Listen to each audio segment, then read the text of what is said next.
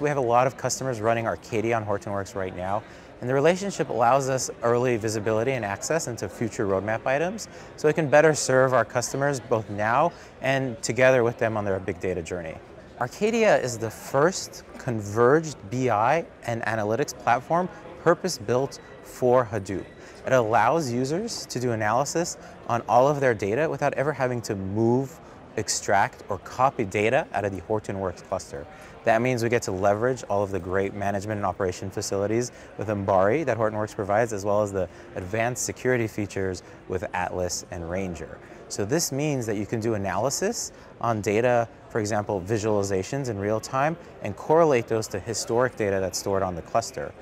allow you to build rich, immersive, interactive applications for use cases like